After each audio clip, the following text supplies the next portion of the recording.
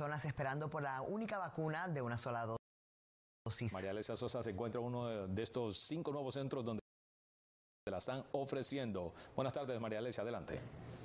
Hola, ¿qué tal? Muy buenas tardes.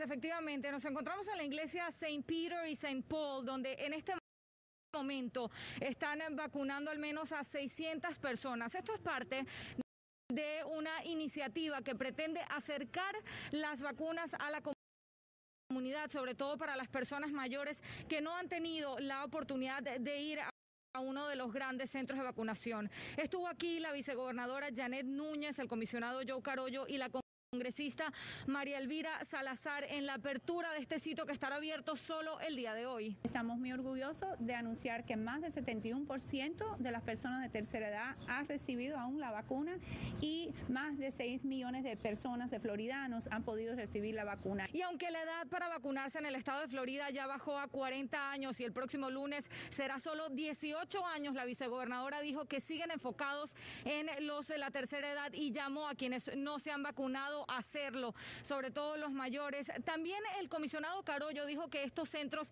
que se irán abriendo poco a poco en la ciudad se irán anunciando a través de las redes sociales de la ciudad. Por supuesto, nosotros también les avisaremos cada vez que esto ocurra. Por el día de hoy, aparentemente los cupos en este centro están llenos, ya que hay llenaron 600 y, y hay todavía una lista de espera. Nosotros seguiremos muy atentos. María Alesia Sosa, edición digital Miami.